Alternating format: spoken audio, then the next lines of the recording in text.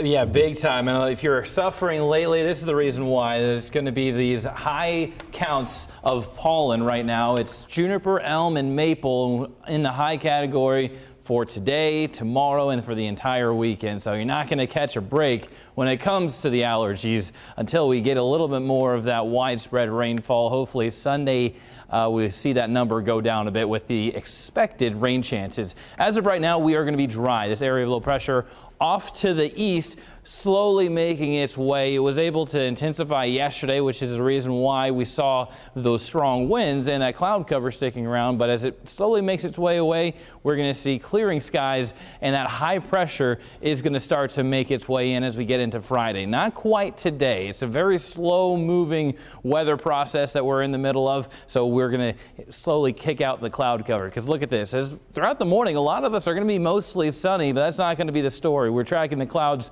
pretty much throughout the morning, making their way a little bit further west as we get to around late morning into the noon hour. Then the afternoon builds in a little bit more, taking away the sunshine a bit for the metro, but further off to the west from there. Most of west of I-35 looking at mostly sunny skies throughout the day. Then as we get into this later evening, overnight, we start to clear out and we're going to see the sun as we start off Friday and for the entire day Friday. We're going to be mostly sunny, and that's also going to allow temperatures to climb as well with those calming winds finally that we're catching a break. But as we get into this weekend, we are going to be dealing with more rain chances talking Saturday night. Now the timing of this earliest time for the metro around 10 p.m. and then especially once we get to midnight really starts to pick up. Further west is going to be a little bit earlier as we go into the remainder of Sunday rain chances stick around and we're going to be looking at a cloudier start to the week could get those clouds cover the cloud cover out of here just in time for the solar eclipse. As far as for today, low 50s for the highs. It'll be a mix of sun and clouds across the state. Still going to be windy.